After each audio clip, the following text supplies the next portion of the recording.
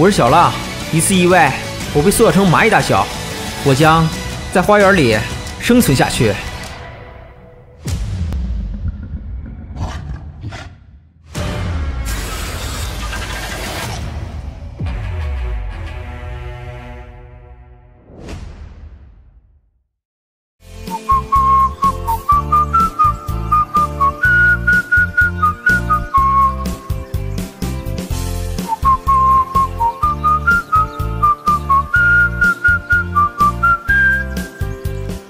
臭丫头，从今天开始，灭虫自卫队正式成立，我将任命你为副队长。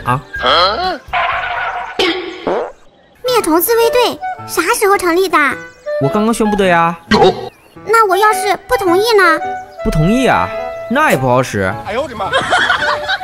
成立自卫队主要是为了锻炼臭丫头你，让你日出而作，日落而息。哦臭浪哥，你就直说，太阳升起来工作，太阳落下去才能下班呗。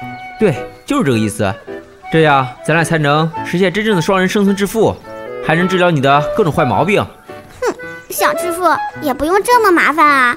小粉丝都说了，看着咱俩生存啊，心都累，劝咱们开创造玩呢。开创造？哼，我堂堂生存专家，要的就是冒险，玩的就是刺激。哦，开创造。也不是不可以哦。哇，橡树脚下，我终于到了。哦，没想到这次居然这么顺利。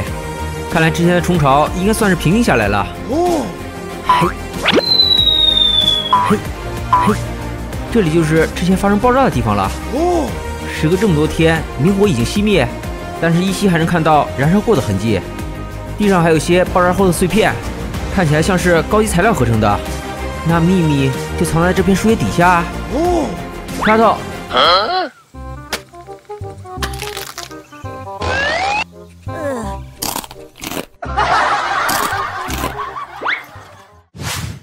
哇，浪哥，树叶下面居然有道门，还有一个通道，科技感十足，看起来好高级的样子。哦。等等，臭丫头，先别着急进去，可能会有危险。啊哎，我说什么来着？你别笑。嘿，臭丫头回来了，快跟我说说，从这开门进去都有什么东西？浪哥，我也不知道。我刚进去就被一只大蜘蛛给攻击了。不过浪哥，你灵活，走位快，又穿着这身铠甲，小心对付它应该没问题。哦，好，臭丫头，看狼哥我的吧。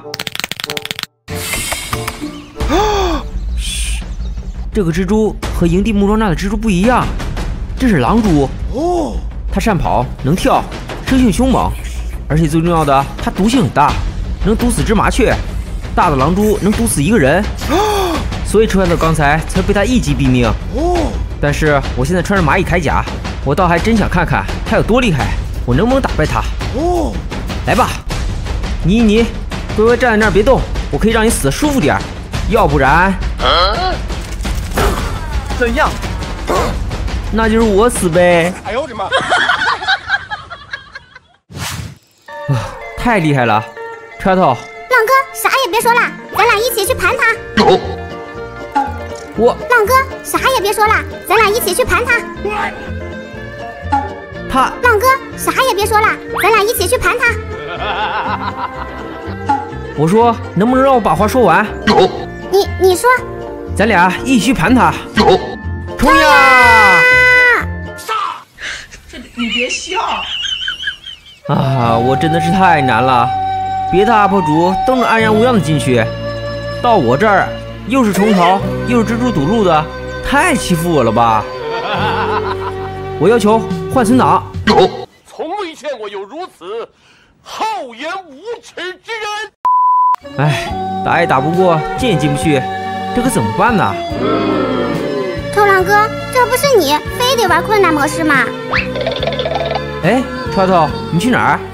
太阳落山啦，我下班喽。你。